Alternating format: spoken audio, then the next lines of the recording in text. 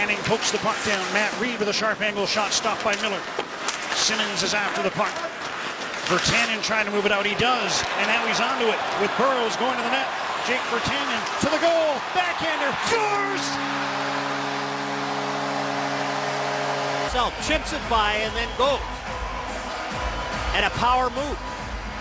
Alex Burrows does a nice job taking Radko Gudas out of the play and Virtanen chips it by Manning head up, head up, looks at Burrows, sees he doesn't have a play, goes to the backhand and beats Steve Mason. The chances he had earlier, John, the squeaky little greasy one that almost went in, that's much nicer for your first goal.